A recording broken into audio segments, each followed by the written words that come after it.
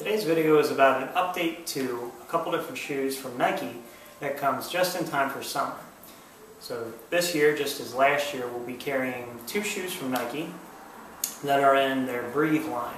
Breathe shoes are similar to, if you're familiar with Adidas Climacool, they're similar to that. Basically what it is is just a shoe that allows for better breathability for hotter running weather conditions.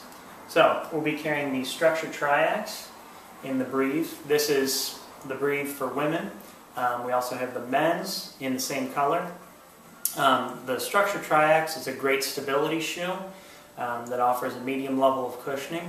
So it's still going to be um, that same great shoe, just the biggest update will be that it's going to have a better upper to it that breathes a, breathes a little better. We're still carrying the regular Structure Triax for men and women, but just this is another offering that's perfect for summertime.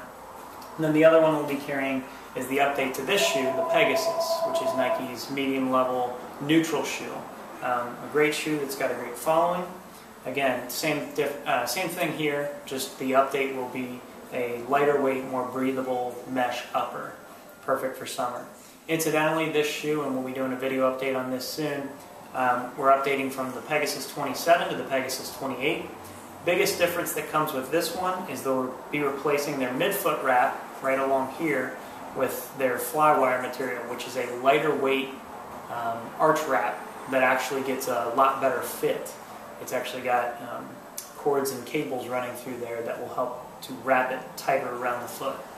But just like I said, this one will also be coming in the Breathe version that's a lot lighter weight and better breathability for summertime.